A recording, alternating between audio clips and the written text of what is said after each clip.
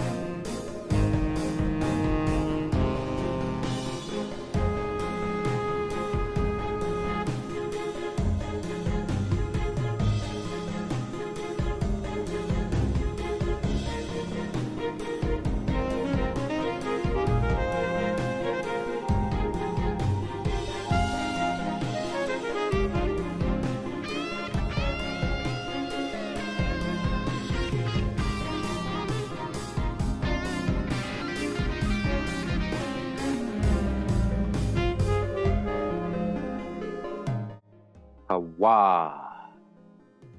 Much love and respect. Pura vida, mi gente.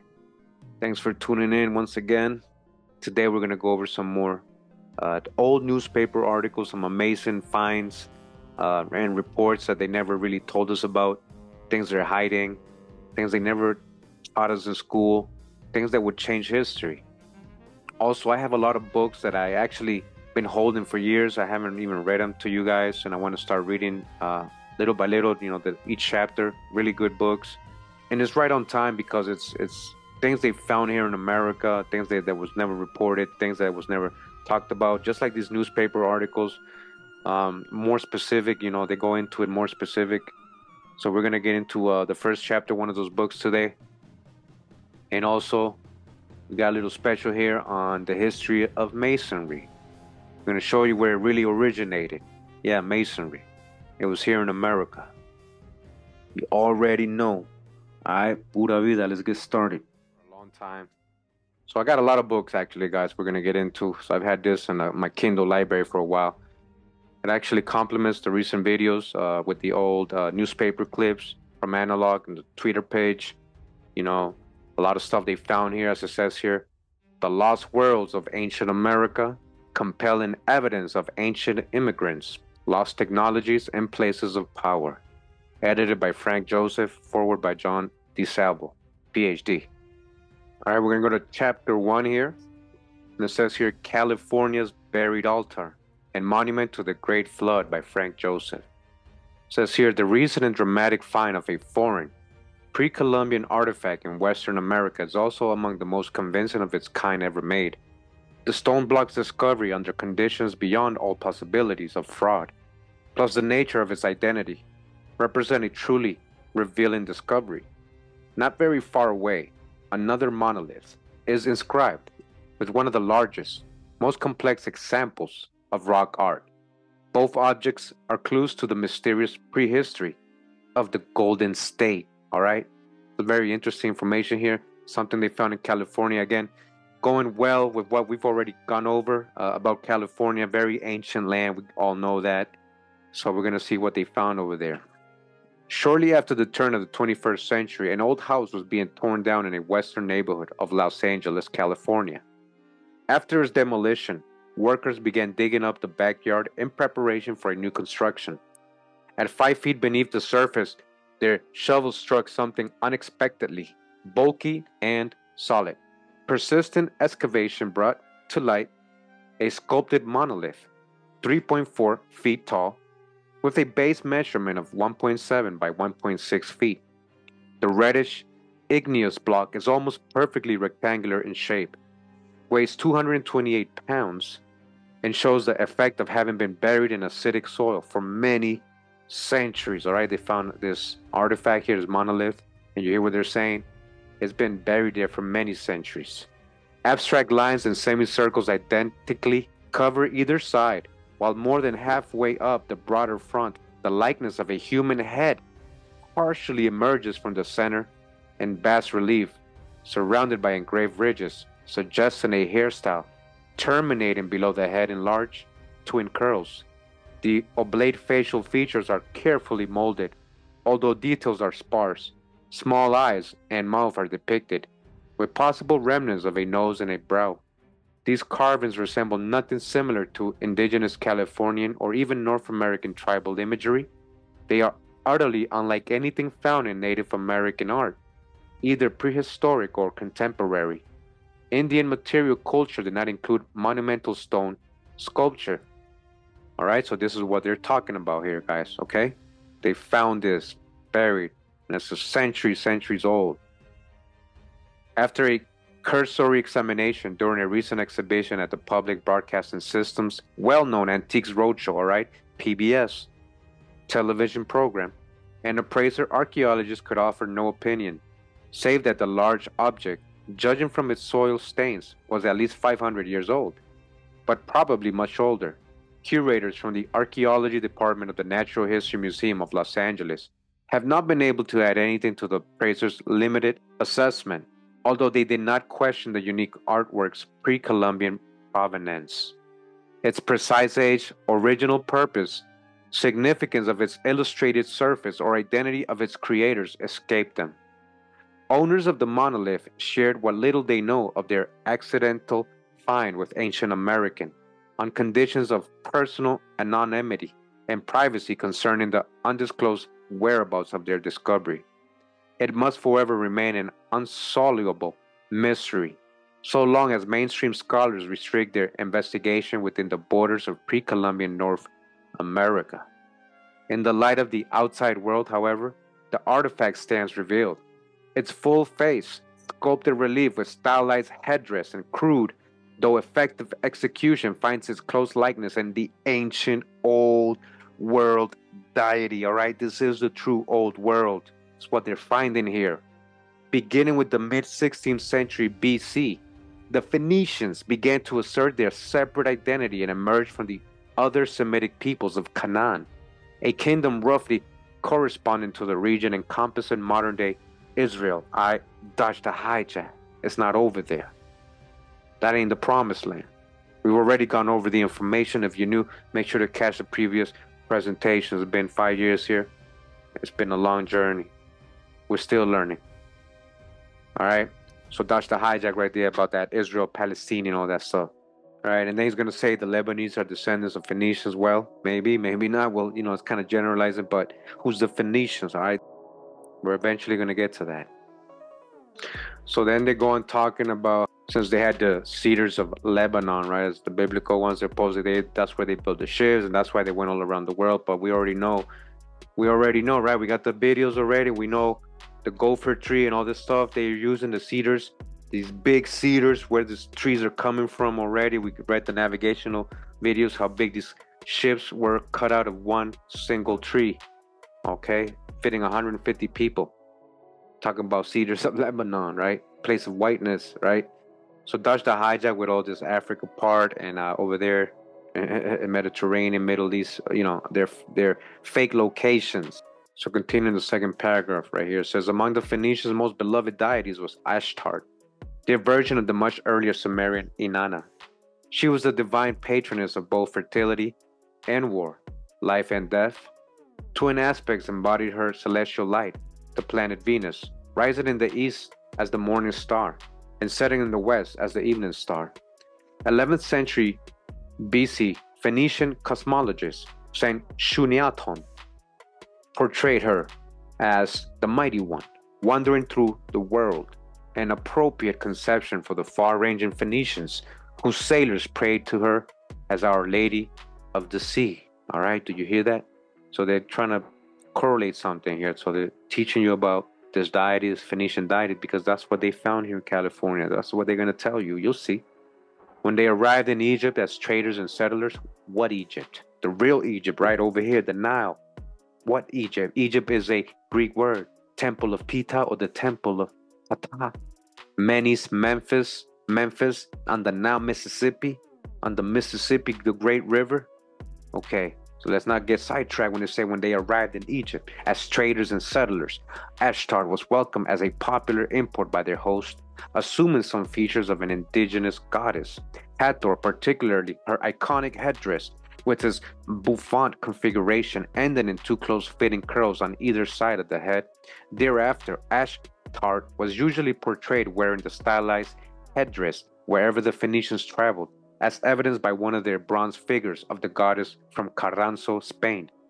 The Egyptians worshipped her as Kadashu during the 18th and 19th dynasties from 1550 until 1200 BC. What Egyptians are? The Tamarians, Tamari. When the two peoples had a falling out, a prayer to Ashtar Kadashu found in Egypt at a Phoenician burial was probably a standard text dedicated to the deity whenever she was venerated. Praise Lady of the stars of heaven, mistress of all gods, may she grant life, welfare, prosperity, and health. Mayest thou grant that I behold thy beauty daily. All right, that's what it said supposedly on the tablet.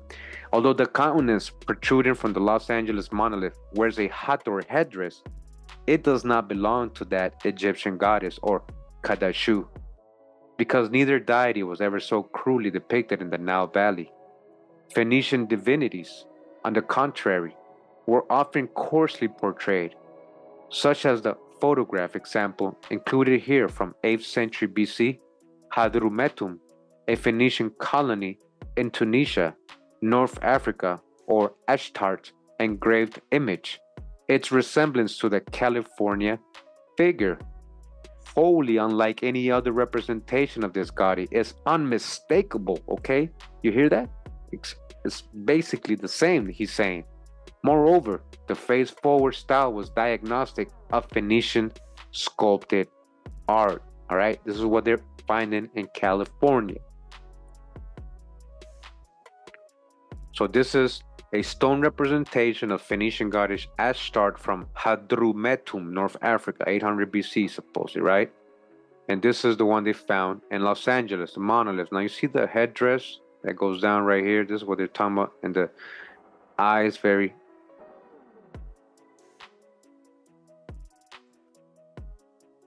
All right, you see, like the head. They say headdress. That looks like hair to me, but the same with the eyes, right? With the decline of Egyptian and Mycenaean Greek influence on the Aegean world, after the 13th century BC, the Phoenicians were free to exploit the rest of the Mediterranean Sea and beyond throughout the Atlantic realm, where colonies were established in western Morocco and Iberia. They are known to have brought back oranges from Canary Islands, together with a costly purple dye the Purpura murex found in a rare sea snail shell from Madeira, and they left a hoard of coins on the even more remote Azore island of Corbu. The Los Angeles monolith is physical proof they sailed further.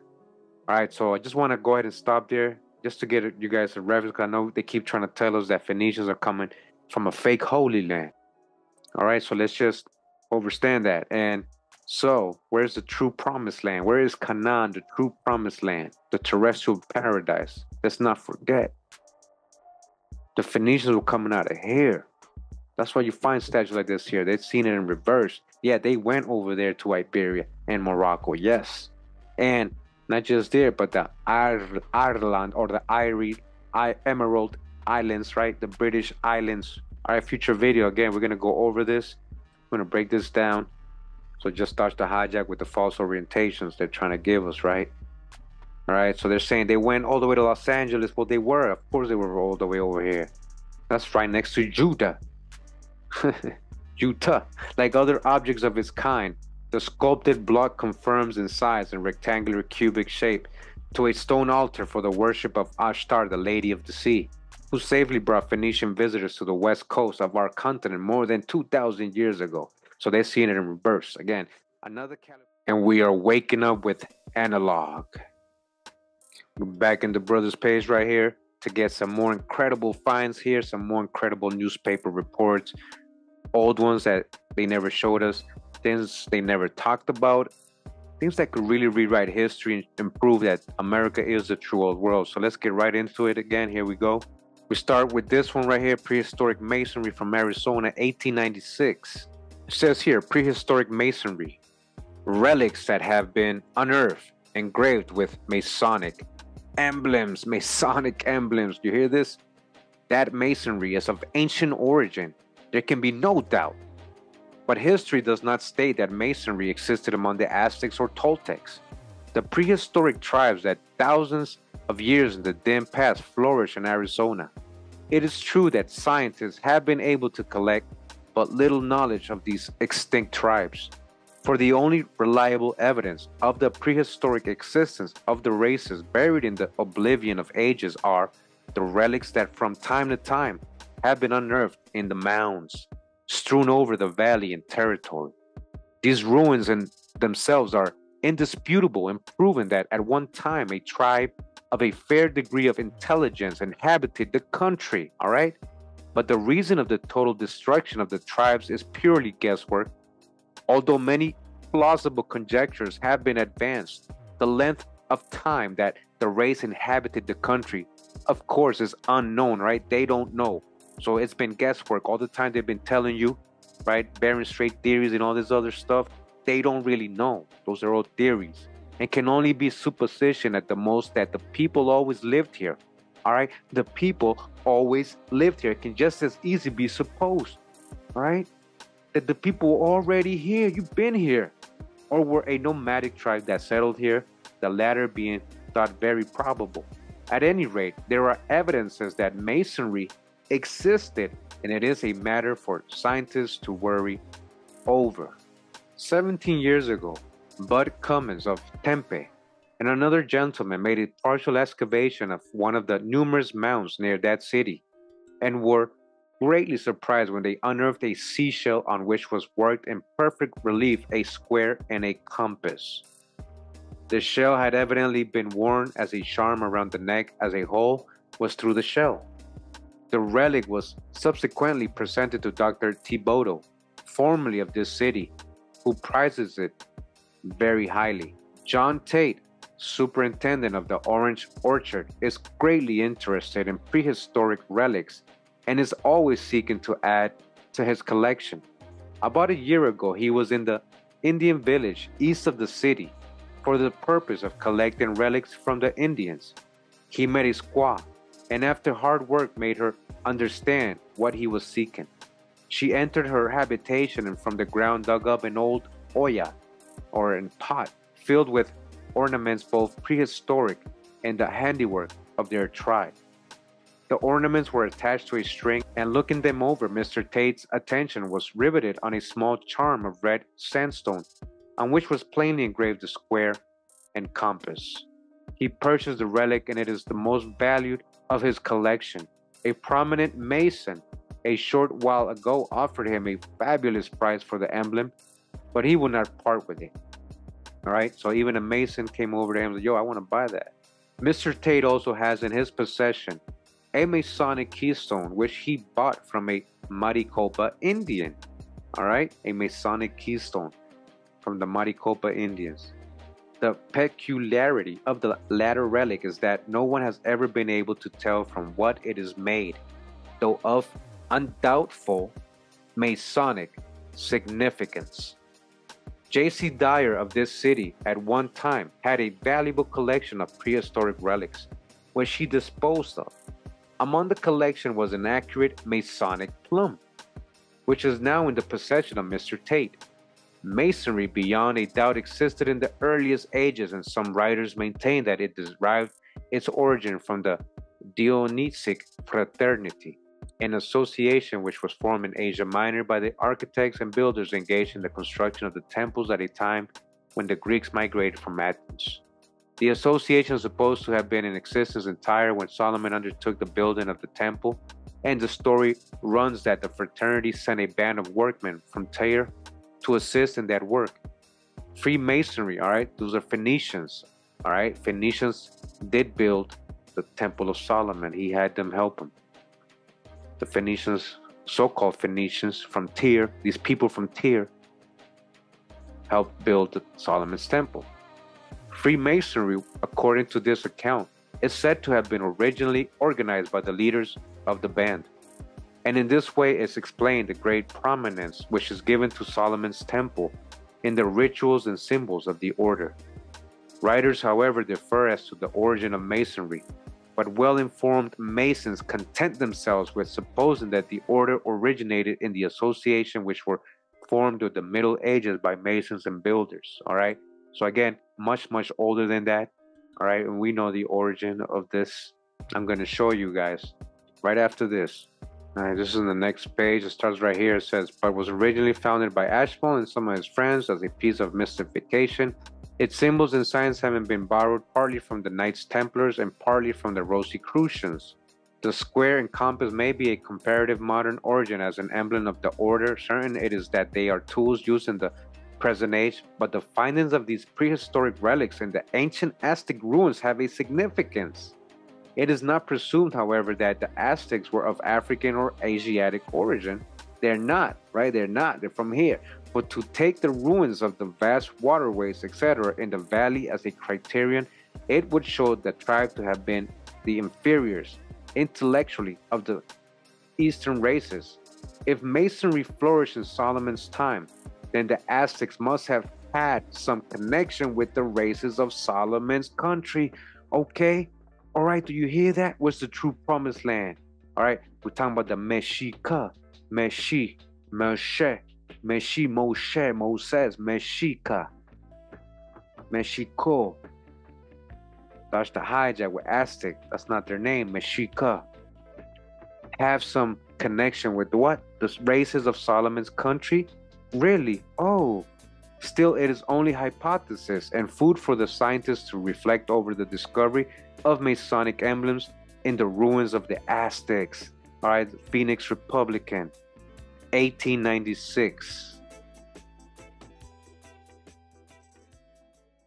All right, all right. So, since we're talking about Masonry, right, and whether or not it was in ancient America, I'm going to show you what the Masons say themselves, where it originated. They're going to tell you straight up. We're going to see how they say it originated, and the credit must be given to America. All right? I'm in the book Ancient Mystic Oriental Masonry, its teachings, rules, laws, and present usages which govern in the order at the present day. True Masonry and the Universal Brotherhood of Man are one. All right? by Dr. R. Swinburne Clymer, author of the Rosicrucians, their teachings, the philosophy of fire. All right, this is deep. This is deep stuff right here. So we go to page 25 of this book, right? And we go to this second paragraph right here. Let me zoom in. Now listen to what it says. The cradle of symbolism used in all masonry. All right. Remember, they found the square and the compass, the square and the circle, and all these Masonic relics, these artifacts, prehistoric in America and California and Arizona and all these places, all over the place. Right, these symbols, right? Symbolism, the symbolism used in old masonry is placed by many of the best authorities in that country, which they believe was first inhabited. For example, the plateau of Tartary, and from there transmitted to this generation by the sages of India, Persia, Ethiopia, and Egypt. Now, look what he's going to say right here.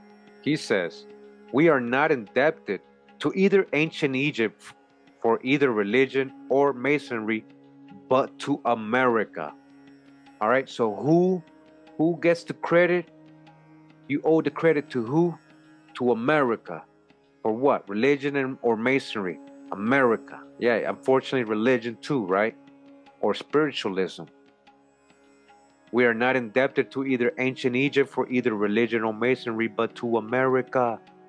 Listen to this. It is a fact that at Memphis, Egypt, the real one, the real one, Mississippi, and the pyramids, the mounds, the pyramids, under the guidance of the kings, the mystic rites of masonry were worked many thousands of years ago.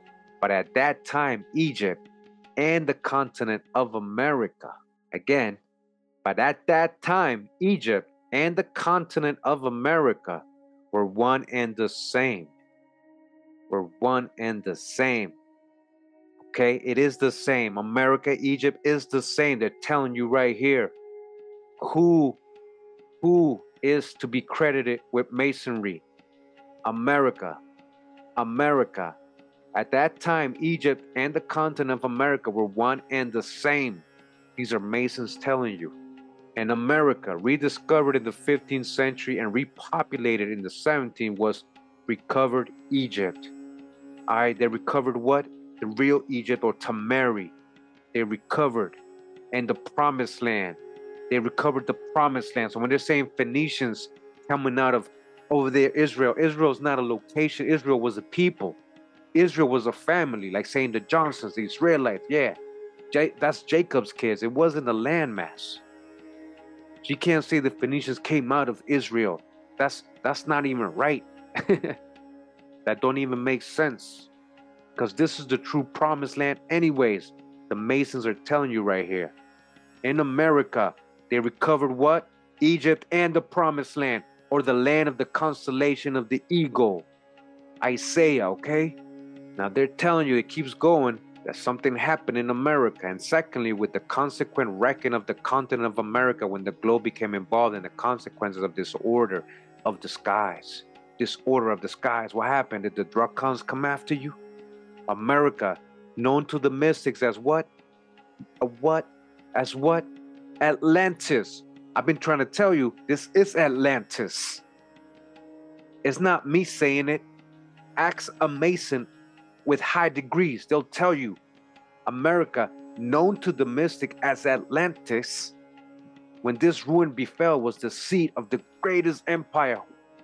America, white, the seat of the greatest empire, and its irresistible armies were terrorizing all of Europe and Asia. All right, remember the Greeks? They were like, no, they're coming to get us. This was the greatest empire in America. The Masons know this. This is their book. Continuing, when following the course of the constellations, those immovably and perpetually fastened upon America reached, it will appear that while all that is sublime in the historic past centers upon Egypt, all that is sublime in the prehistoric past centers upon America, Atlantis. Okay? Atlantis and as the current which has hitherto concealed the prehistoric connection between the peoples of ancient Egypt and of America is lifted, it will be seen that the people of the eagle on the Nile, being descended from the original people of the eagle on this continent, they are descended from us over here. It's not the other way around. The twain are one and that prehistoric America was the original Egypt. Again, again, that prehistoric America was the original Egypt or Eagle Land prior to the mighty dispensation, the days of Peleg, all right, when the lands were separated, when the earth was divided, and the great globe itself was nearly rent asunder. What did Agassiz says? Remember what Agassiz says, the most famous geologist. We got this already in previous past videos. Says Agassiz, first born among the continents, America has been falsely, has been falsely denominated the New World, has been falsely. It's not a new world, it's the old world. Hers was the first dry land lifted out of the waters. First land that came out of the primordial waters. You understand that? Hers was the first shore washed by the ocean that enveloped all the earth besides. And while Europe was represented only by islands rising here and there above the sea, America or Atlantis already stretched in an unbroken line of land from Nova Scotia to the far west. America was evidently people from the old continent, from the old world. All right? Just to be clear, Masonry did start over here. That's why they're finding those symbols over here. It's not a debate. Okay? And it's not about Phoenicians coming over. What is a Phoenician? Phony. Phen, phen, phony. Phony. Phoenician phony. That's not their name. It's a bunch of people, which includes also Danites that's why Ireland plays a big role in this. The British Isles and Ireland, we're going to get to that. We're going to get to the Chaldeans, right? The Druids, we got already, right? Ireland, or of the Chaldees or Chaldees. The Druids are the magicians, are the Chaldeans. That is where Abraham came out of. And then he came back to the promised land, over here. And we continue waking up with analog. Mummies in Tennessee, Georgia, 1892. They were found in a cave and are similar to those of Egypt. Again, they were found in a cave. We're talking about Tennessee, right? We're talking about mummies being found in Tennessee, similar to those of Egypt. That is Egypt, Little Egypt. That is Tamari. Chattanooga, December 2nd, two prominent citizens of London County, Tennessee, while hunting in the mountains, discovered a cave containing well preserved mummies, similar in every respect to those of Egypt, and a large trunk or case bound with brass, sealed in several places. Upon being opened, it was found to contain several leather cases, also sealed. The largest was open, and a roll of parchment found covered with Hebrew characters Hebrew, Paleo Hebrew, Phoenician, that's what they call so called Phoenician, Hebrew, Paleo, the relics were deposited in the vault of the First National Bank of London. All right, you see, they had it.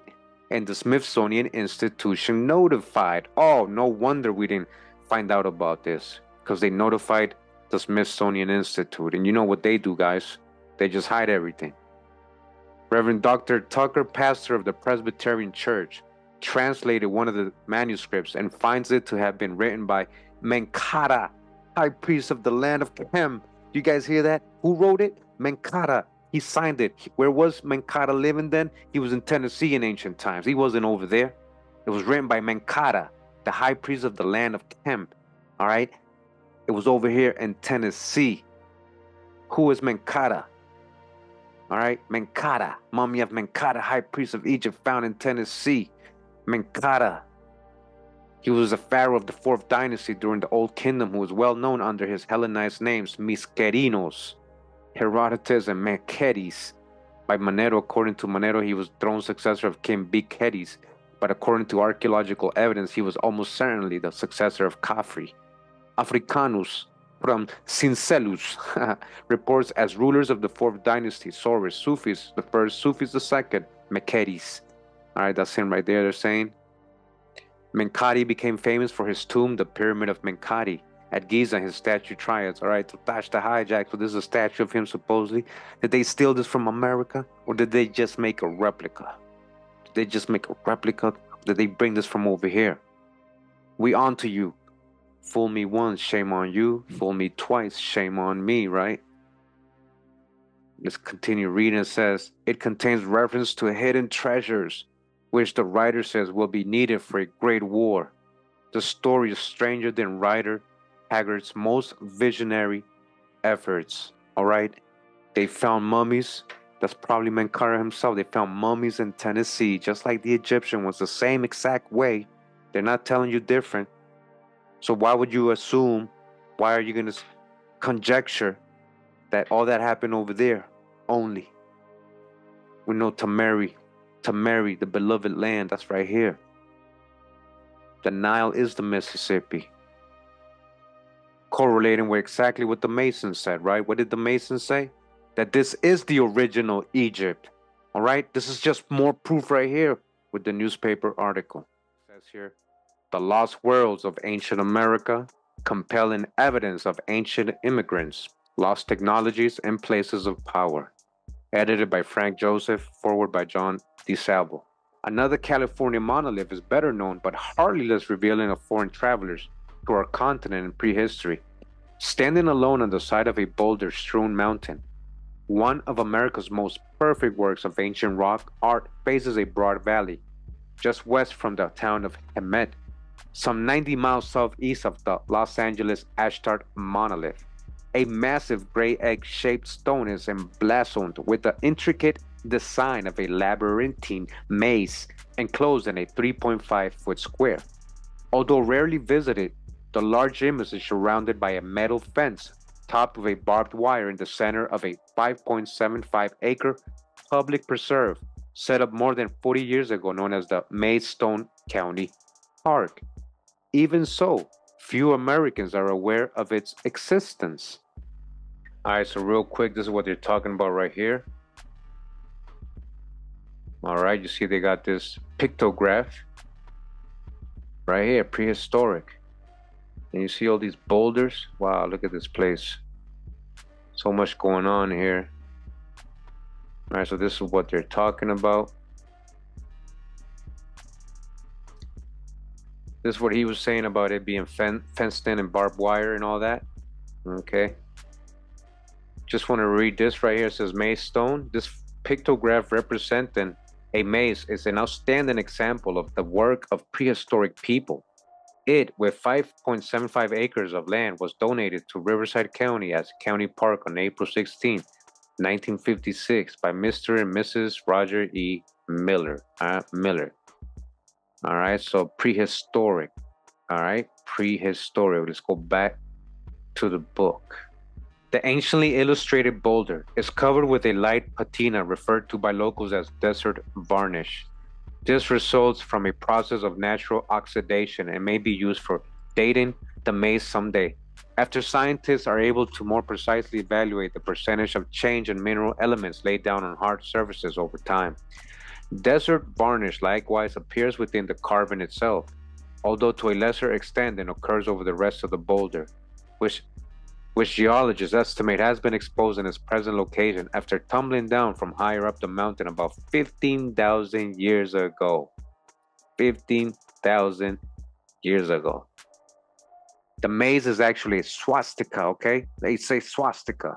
And we know this symbol was over here, like the cross and all that, before any religions, before they told us what it meant, before anybody grabbed it, like Germans, you know, it was a symbol known to numerous American Indian tribes across the continent from at least William times, beginning around 200 BC when some of the earliest surviving examples were made of copper.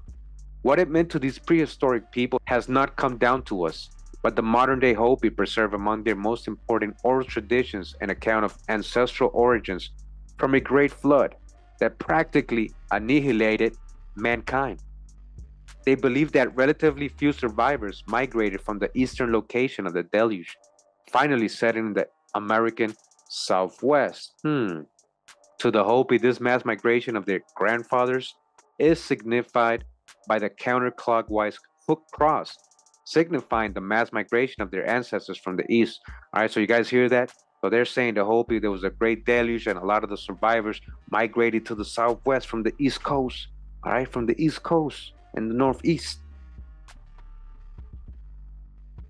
Whether or not it's the same symbolism that motivated the ancient carvers of the Hemet maze is not known, but whatever it represents, it must have stood for something of real importance to merit such high artistic efforts to say nothing of its prominent placement on a mountainside. Clearly, it was originally meant to be seen and appreciated by many people. Got a picture here that says of California archaeologist William Donato at the Hemet Maze Stone. Outstanding art as the Hemet petroglyph may be, it is neither the only nor the largest, though perhaps the most finely executed of its kind in Southern California. There are actually several other stone mazes in the immediate vicinity.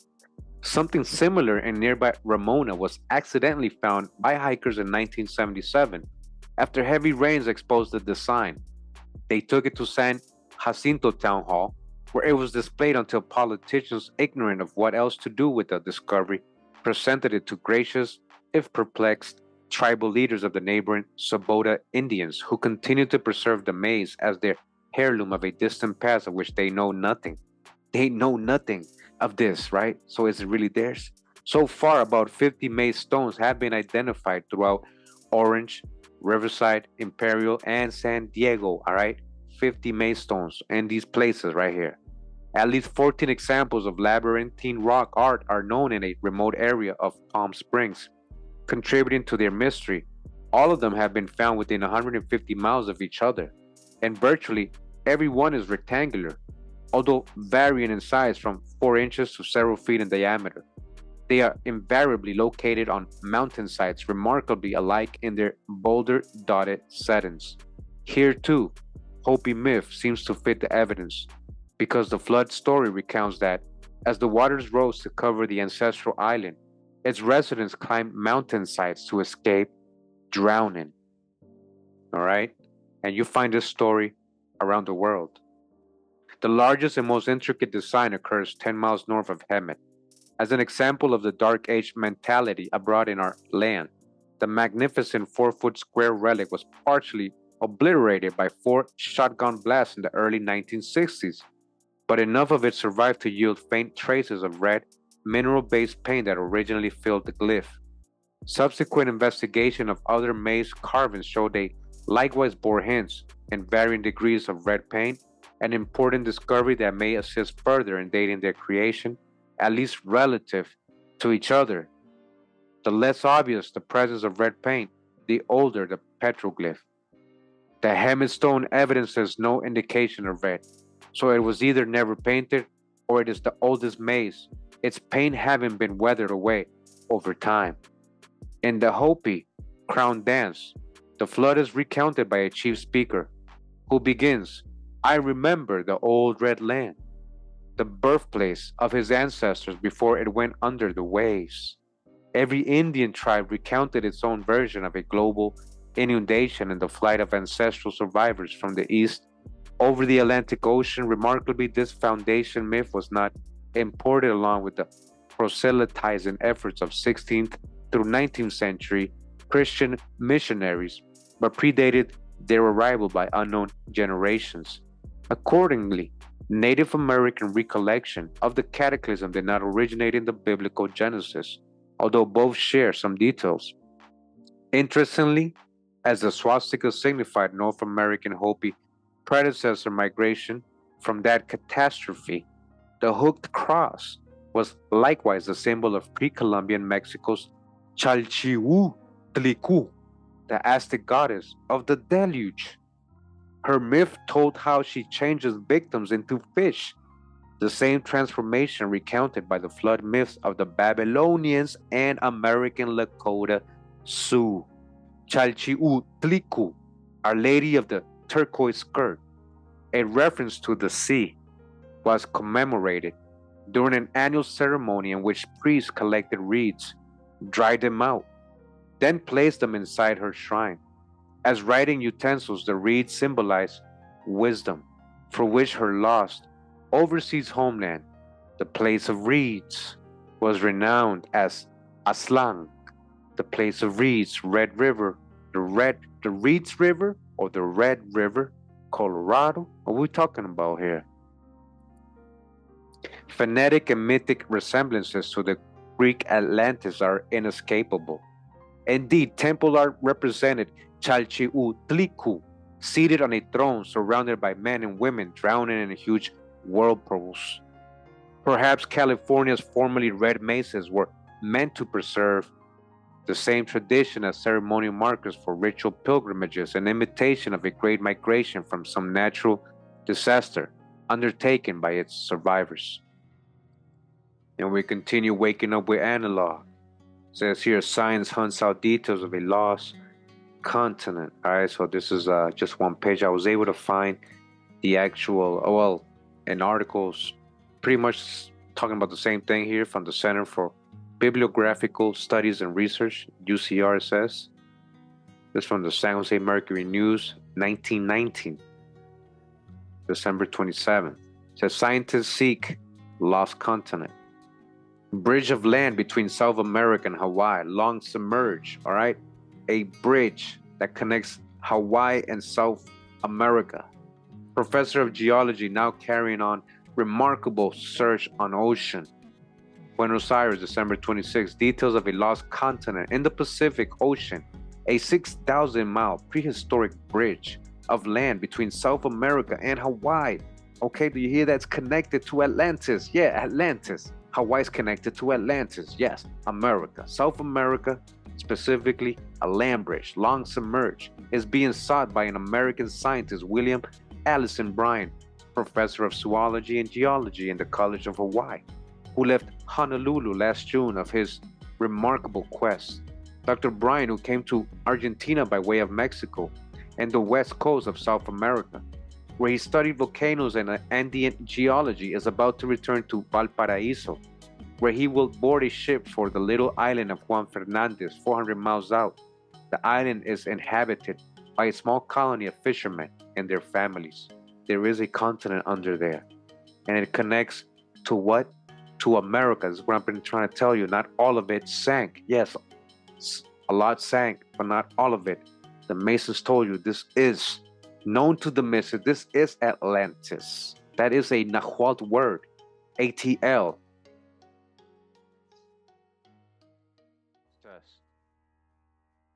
And we continue, and we're just talking about giants riding giants. Say, what? This is from Nevada, 1869. And it says here Nevada, petrifications and fossils. It is not a little whimsical to notice that since that little 10 foot stone man was dug up at Cardiff, which is creating such a sensation among the New York Yankees, there are plenty more suddenly resurrected down in the Arizona and in various other parts of the country, compared with which the Cardiff Giant is a mere tom tom.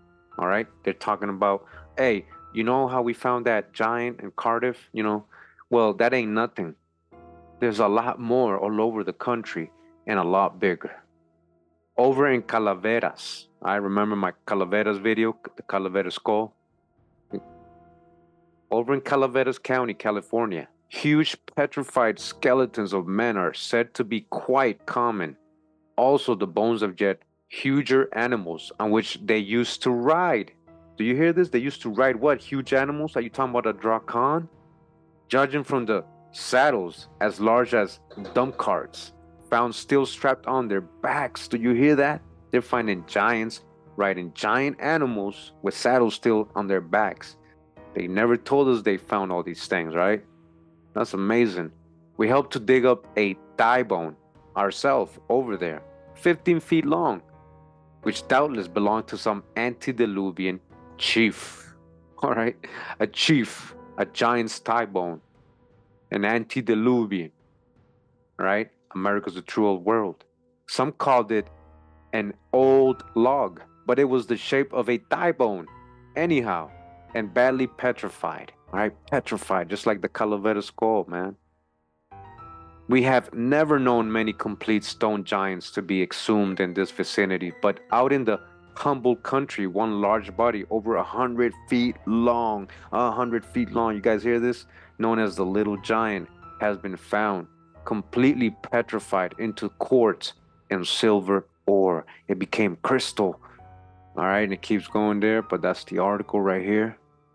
Wow, petrified giants riding giants. We continue here. We got an article from 1894 regarding the Melungeons of Tennessee. The Melungeons, a strange people who live in the mountains of Tennessee.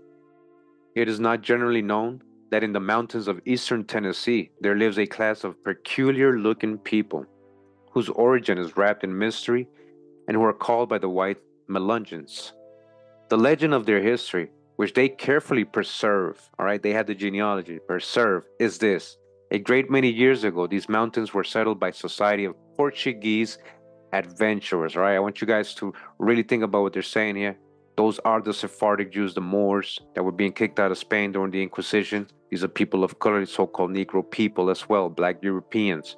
All right, these so-called adventurers, these pirates, these adventurers, these colonists, explorers, whatever you want to call them, merchants, trademen, navigators, men and women who came from the shore of Virginia that they might be freed from the restraints and drawbacks imposed upon them by any form of government. All right.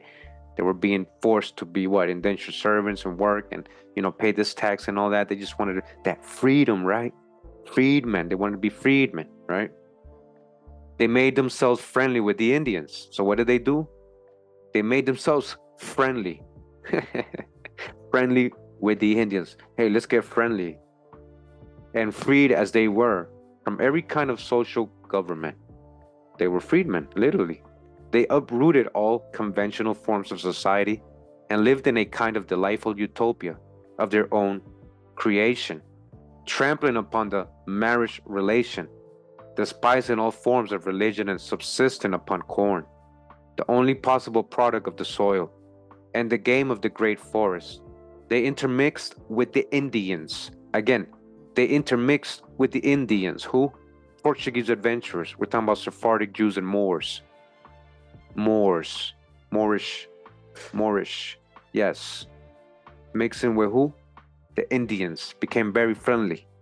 And subsequently with the so called Negroes. What Negroes? These are so called Negroes, the Portuguese and the Indians. You see, that's the hijack.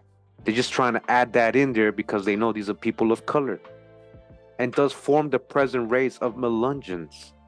They are tall, straight, well formed people of a dark copper color, copper colored tribes of America, dark copper color, but with Circassian features.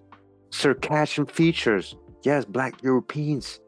They were privileged voters in the old slave days and accredited citizens. They are brave but quarrelsome and are hospitable to strangers. They have no preachers among them and are almost without any knowledge of a supreme being. They marry by established forms, but husband and wife can separate at pleasure without meeting with any reproach or disgrace from their friends. They have but little association with their neighbors and are in every respect save that they are under the jurisdiction of the state government, a separate and distinct people. All right? Melungeons, or mixed, right? Melungeon, French word. We're waking up with analog, and there's nothing new under the sun. All right, we're going to read this uh, article from North Carolina, 1839, from 1839. Nothing new under the sun. Only think mummies found on this North American continent of ours. Mummies exactly like those of Egypt, all right? Again, are the Masons making it up when they're writing in their sacred books and teaching their initiates and all that that this is the true eight the original egypt. This is where you find the promised land atlantis. Are they lying? And then they're finding mummies and all this stuff around here that they never told you about. Christopher columbus is not so great a hero after all. A bold navigator and all that but it seems he was mistaken when he supposed he had found a new world. All right?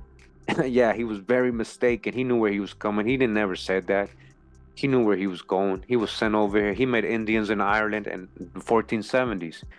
He knew about the navigational stories of he knew there was trade going on anciently back and forth.